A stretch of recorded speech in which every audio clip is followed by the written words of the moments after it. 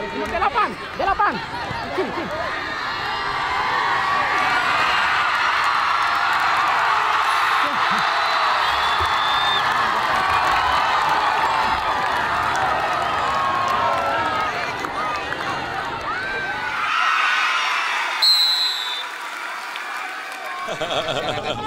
Oh tiba-tiba pengen main sepak bola nih Pak di Biak. Enggak, ini udah dua minggu ini nggak olahraga, jadi pengen olahraga gitu aja sama anak kampung di apa di Kabupaten Biak dan ya keringet dah keluar semua, tapi capek banget.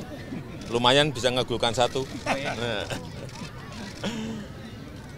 Pak izin Pak ini kan eh, sepak bola Indonesia kan tengah makin gemilang lah Pak.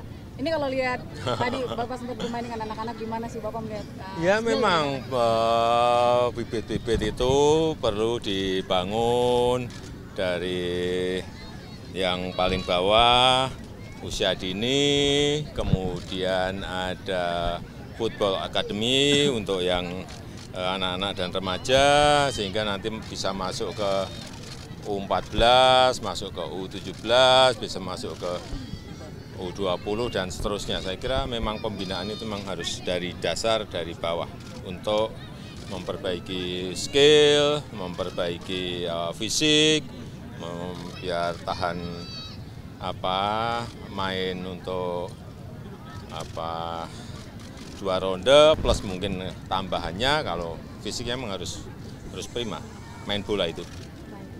Pak izin Pak ini untuk anak-anak di sini Pak anak muda di sini Pak eh, motivasi dong buat mereka.